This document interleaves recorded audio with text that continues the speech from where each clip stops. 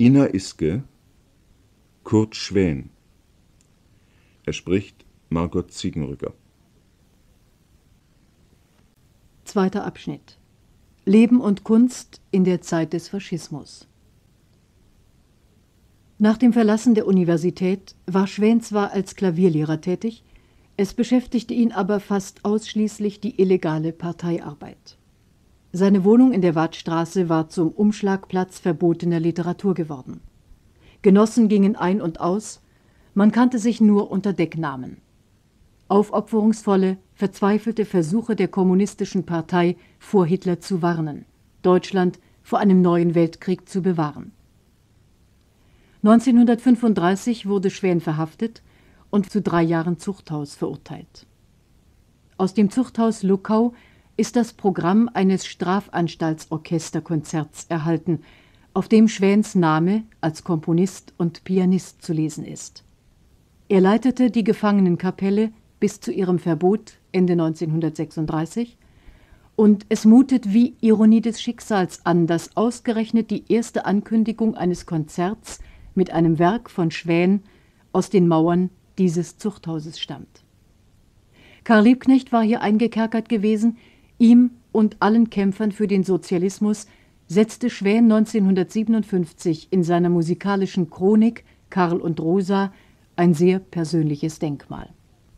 In den folgenden vier Jahren nach seiner Entlassung arbeitete der Komponist als Korrepetitor in Tanzstudios für modernen Ausdruckstanz, zunächst bei Gertrud Wienecke am Kurfürstendamm. Eine der Tanzschülerinnen, Hedwig Stump, heiratete er. Bis zu ihrem Tode 1976 lebte er mit ihr in Berlin. Sie war die Tochter des Pressezeichners und Porträtisten Emil Stump, der während der Nazizeit Berufsverbot erhielt und 1941 im Gefängnis starb. Schwän lernte nun viele Künstler kennen, besonders natürlich Tänzer. Die meisten lehnten den Faschismus ab. Einige kämpften mit ihren Mitteln aktiv gegen ihn. So auch die Tänzerin Oda Schottmüller, mit der Kurt Schwän ebenfalls zusammenarbeitete. Sie gehörte der antifaschistischen Widerstandsgruppe Schulze-Beusen an und wurde 1943 hingerichtet. Was bedeuteten diese Jahre für den Komponisten Schwän?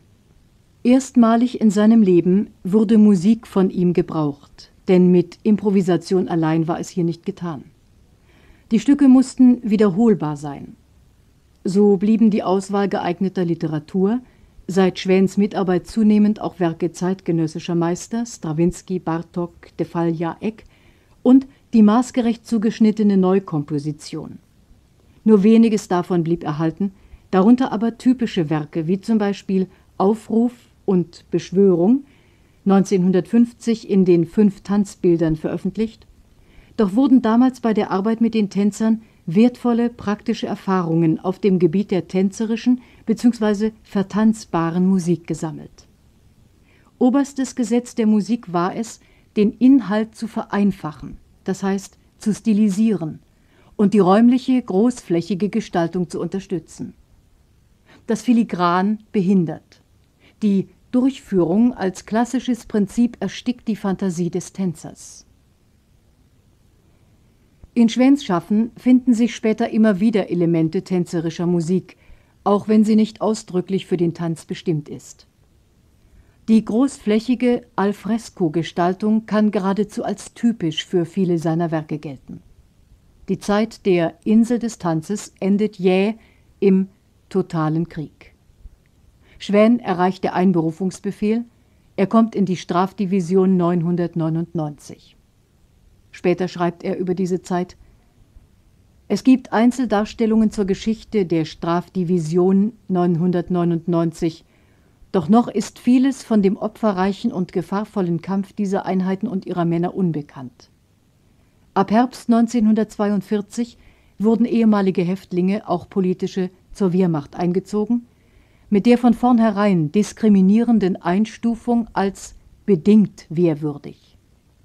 Das bedeutete eine Art Fortführung der Haft mit Briefzensur, Urlaubssperre schlechterer Behandlung als bei regulären Einheiten. Erschießungen als Abschreckung vor versammelter Mannschaft gab es von Beginn an. Worauf es jedem von uns ankam, war, sich nicht mitschuldig zu machen an dem Krieg der Faschisten, zu überleben und bereit zu sein, wenn mit dem ersten Tag nach Kriegsende neue Aufgaben auf uns warten würden.